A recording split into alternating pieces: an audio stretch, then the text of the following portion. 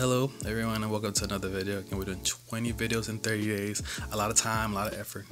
If you have a little time, just hit the subscribe button. And don't forget to leave a comment. Um, we're trying to grow the channel. Thank you to everybody who's been supporting us so far. Well, today's a different video. If you saw from the timestamp, today's a little longer.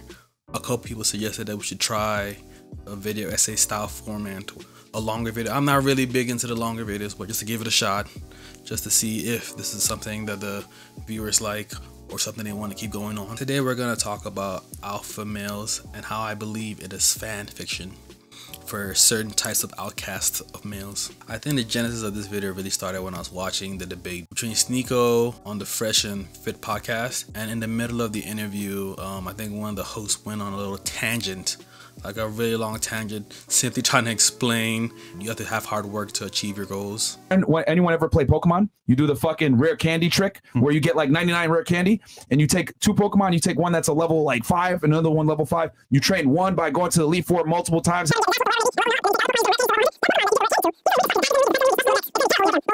he went through the fights and fought the Elite Four 120 times. His stats are going to be way better so no offense, like I said, I'm nerdy myself. You can see on the background there's an anime picture in the background. Alpha male and the way that they describe alpha males wouldn't consider that to be top top G or in the way whatever way they call it. An alpha male and how they describe it would look down on him ranting on about a video game, about Pokemon and trying to use that as a description of hard work. And then I was really thinking about it and I remember interviews in which Sneako was talking about how he was an outcast as a child. There are a lot of video essays about him and how when he was younger he used to be by himself talking about deep political subjects, something that you wouldn't see from someone his own age. And then I also remembered that Andrew Tate himself has talked about how he was bullied, how he regularly struggled with kids in school and how he used to be bullied on the bus. Kids were maybe nine or 10 who used to pick on me from behind, right? And used to pick on me on the bus all the time. In the middle of the interview, it really hit on me that every single one of these alpha male podcasts were social outcasts. They weren't traditional kids. They weren't kids that had lots of friends in school. These were the kind of kids that that these weren't the prom kings of their school. These weren't the social butterflies. And it made me really think. In the area, we consider alpha males, they consider people who are the leader of the pack, people who are leaders of their peers. I don't get that vibe from any of them. And I was thinking about it, that the one area in our life where alpha male could probably make any sense is school because we're forced there in this herd mentalities in school. And for some reason the one area of our lives in which you can have like a true alpha none of them were the top of the, of the food chain. Not one of them thrived in an environment where a natural alpha male would have naturally thrived. When andrew tate went on big brother and even in big brother he himself was not a natural leader. So right now, with the dynamics that are going on in the house, I definitely think Marco's going to be the better choice. If we don't, to fuck people. Well, we're going to do a vote. Up. We're going to do a vote on this one. Yeah, Marco. yeah.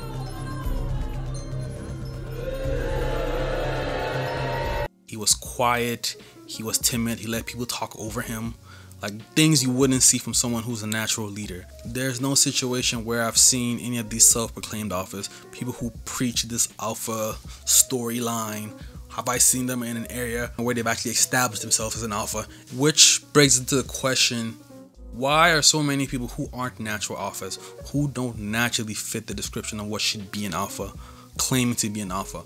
I think my theory is like fan fiction. Is them preaching the idealized version of themselves. This alpha male is who they want to be and not who they actually are. It is the Wattpad version of what they want to be real. Like how, how we all have fictions fictional stories of this or that or fictional love story. I think this is their fictional love story. The fictional version of I want to be this person, so I'll scream to the world that I am, and maybe if I scream it long enough, enough people will believe that I am. Especially with the people in Fresh and Fit. Both of them are, are complete nerds. Both of them love to assert their powers in the position of their podcast or or how they down talk to women in, in the environments they control. But have you ever seen either of them in like an environment where they're not the one in power, where they're not the one in control? They tend to be timid, they fall back, they don't assert the dominance that they portray to claim when they're not in a position of power. Them being social outcasts also led to their beliefs.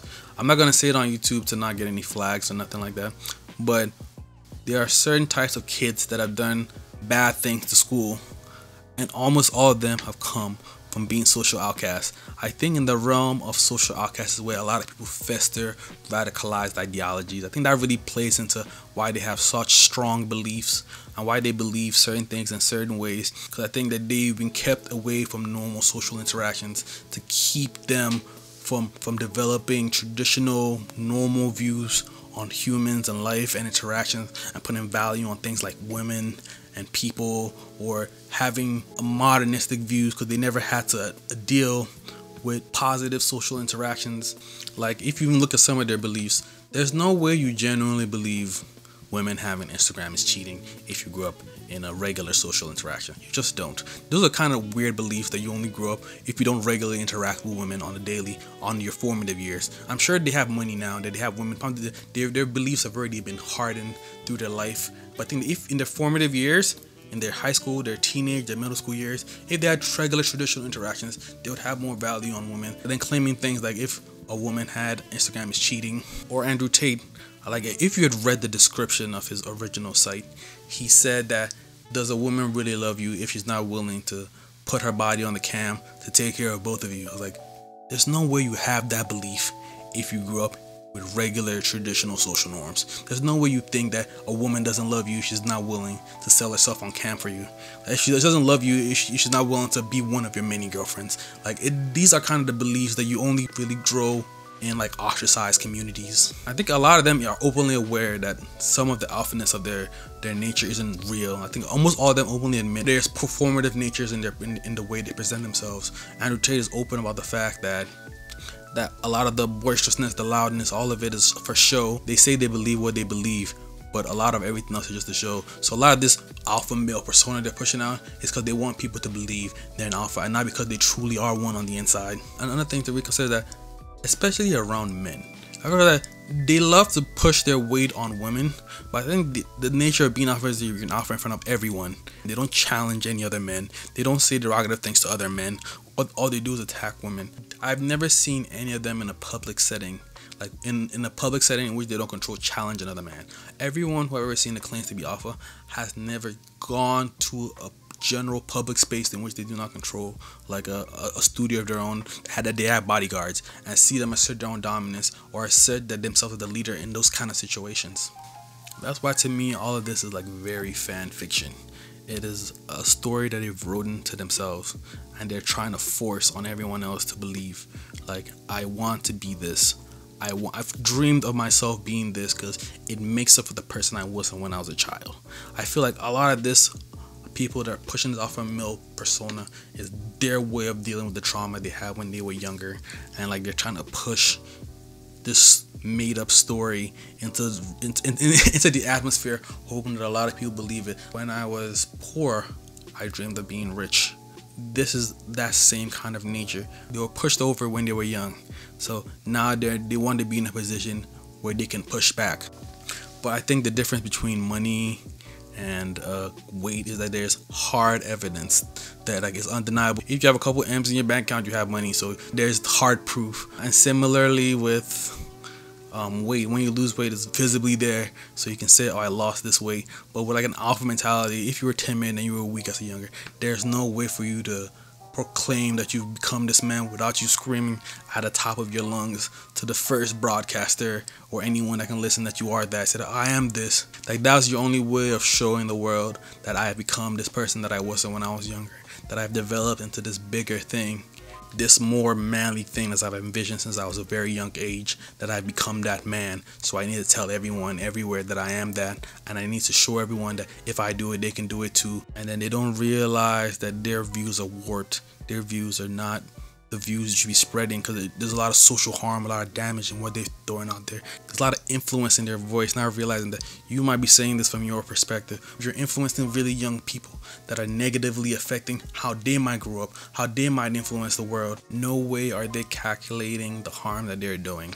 Like I saw an interview with Sneako and they showed him a video of Andrew Tate's negative like negative influence and affecting teenagers and he was laughing like yeah yeah, that is kind of funny. That is based. And you don't realize these are real people that are growing up with bad images, bad stereotypes in their minds. And here's the thing with Sneako. I don't think Sneako's as bad as Tate or the Fresh and Fit Boy. I think he's putting on a performance. I think that his ultimate goal is to be rich or to have money. But I don't think he's realizing the harm he's doing in the bigger thing. I think that if you look at any of his videos older than three years ago, he had put introspective thought into his commentary and uh, there's a lot of depth to what he says. I started sobbing and my father had to stop the car. He put his hands on my face, looked him in the eyes and told me, stop crying, don't worry about this. In 10 years this will all have changed. The work of Dr. Martin Luther King Jr. that prominently affects the world today occurred almost 50 years ago, and these issues are still as prevalent as ever. The most recent cases of Michael Brown and Eric Garner being victims of police brutality remind me eerily of Emmett Till's case. Now there's no, if you watch any video of him, there's no depth. Like does anyone with a brain can realize the hypocrisies, the, the falseness, the the inaccuracies in all of his statements. I think he himself could point out the inaccuracies in his own statement if we put his videos in front of him three years ago and his younger self was watching who he is today. So, and I don't think people get dumber. Like, I don't think people get dumber that fast, especially that fast. I think a lot of Sneako is performance because he has some drive in himself that he wants to be really rich and he thinks this is the path that will lead him to being really, really rich. Famous YouTube vloggers are generally arrogant, annoying motherfuckers who will run around and hold their camera in front of anything for a couple thousand more clicks. So it didn't surprise me at all when this dude ran around Japan like a goddamn 13 year old in Dick's Sporting Goods.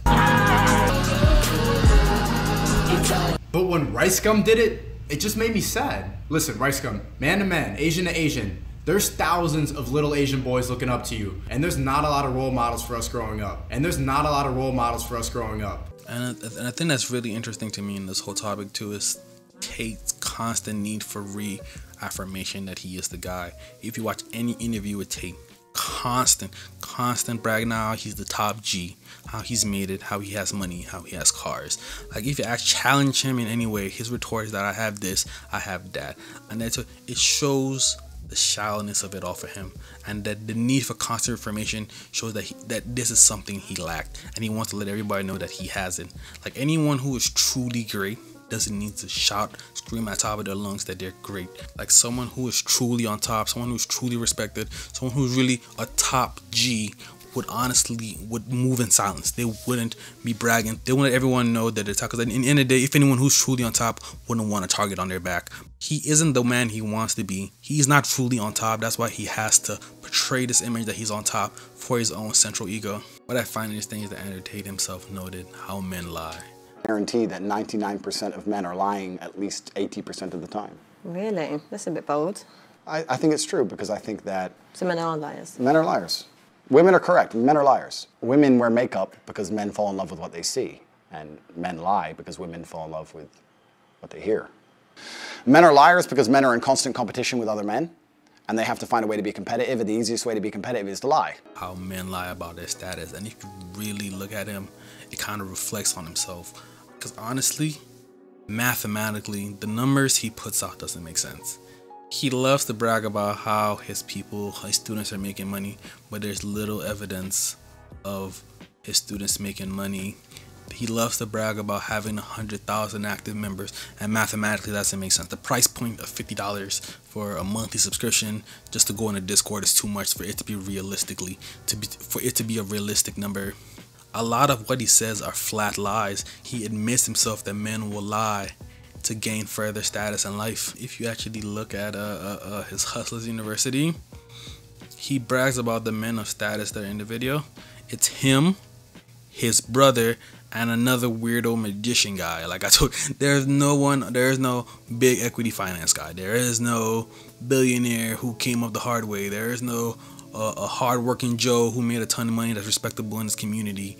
Like it's just a bunch of three weirdos. Like I said, if he really was this man making tons and tons of other people rich. He would have testimonials of actual wealthy people, actually successful people, as a testimonial to why he should join it. He actually never goes into detail of anything in Hustlers University because he himself knows it's a scam because he himself never goes into how the success is made or who he's made successful from it. And here's the, um, the thing that I've thought about too if there was a such thing as a real alpha in real life, like there really was an alpha in real life, it wouldn't look like them. Anyone who was the top of a social hierarchy would have social skills to not just influence men but women. If there was a real alpha, they wouldn't know how to influence both genders. They wouldn't be going out of their way to speak divisive languages. They would try to lead in both. Even their rugged version of the alpha male, the fictional version that they have going on in their head about what an alpha would be, even that misogynistic version wouldn't be screaming at the top of his lungs divisive rhetorics because in the end of the day even that misogynistic guy who just using women to control women you aren't controlling women by telling them their property. You aren't controlling or manipulating women by telling them they're less than. The manipulative alpha, who is truly an alpha, would be saying things to manipulate the narrative to think he was a good guy. Like I told you, even the evil version of the alpha male that they have like fantasized and they put on this pedestal wouldn't be saying the things that they are saying because that version of an alpha would also want to be in control of women as well. Just thinking about it, I look about stars who were actually popular in high school. I look at Dwayne The Rock Johnson, who was a male athlete, or I look at other celebrities who were like, they were natural leaders. Every single one of them today know how to navigate in the space of both men and women.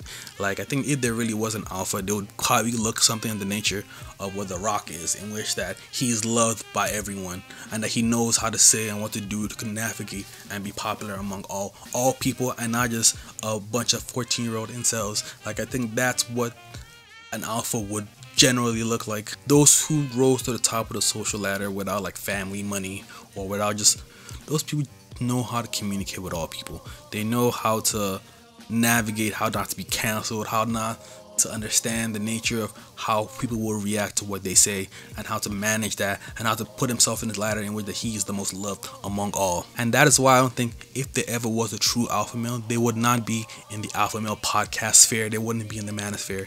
If there ever was such a thing as an alpha male, they wouldn't be in the in the red pill space. They wouldn't be there. I think everyone who lives on the red pill um, internet bubble, none of them would probably be considered real alphas if they were actually put to the test. If you look at any of these people, Sneako, Andrew Tate, or um, the Fresh and Fit guys, or someone, or anyone in that little bubble, if you remove their money, if you start them off fresh, like in and you threw them in an environment like with a, especially men because they feel like they, they, they tend to cower whenever there are other men around.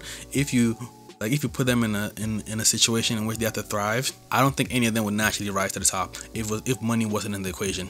Like if you remove the money and told them hey we put all these men in this room let the alpha be decided amongst yourselves and you couldn't use money or previously get influence on there not a single one of them would rise. Like they, they naturally do not command presence of respect.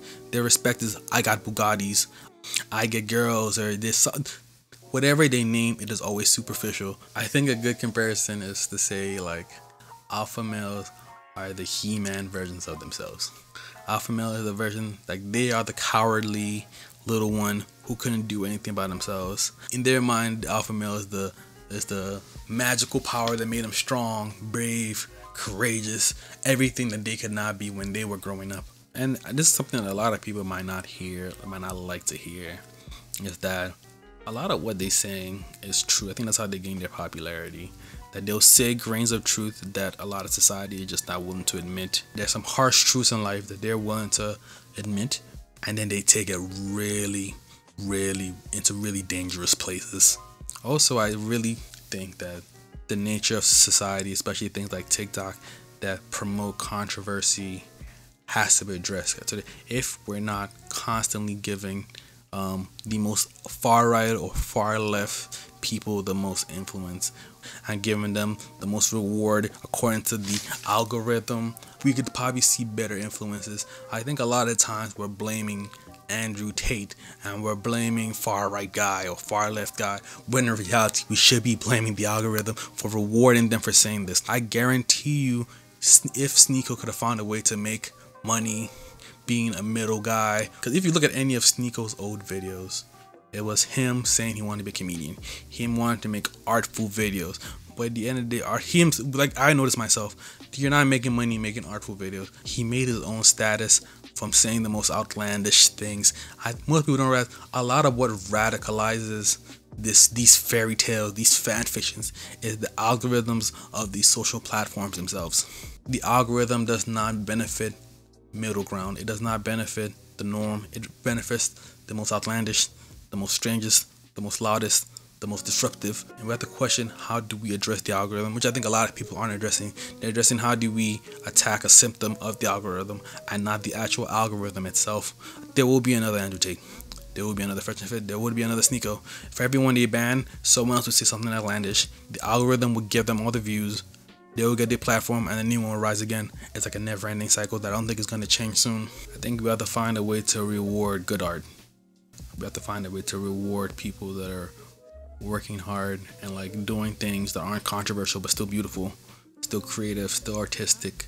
And then what are your thoughts on this? Like I feel I feel like I would love some of you guys' input on why you think that such radicalized ideas become popular. Why a lot of men are gravitating towards this fan fiction of this alpha male, even though they themselves are truly not that. These are just thoughts that I've had thinking about it recently. But I told you this is this is just my opinion. Um, let me know if you guys like this style. It's a little bit longer than I would normally voluntarily choose to do. Less editing. Do you guys like this? I also added some mood lighting, uh, different lens and all that. Uh, for everyone who made this far, thank you for making it this far. That's a, that's a lot of video. I, told, I know we don't even watch videos this long, but thank you guys. Um, don't forget to like, subscribe, join us. It would be nice if you guys come back, watch another video. Um, I appreciate all of you. Thank you. Have a good day. Bye.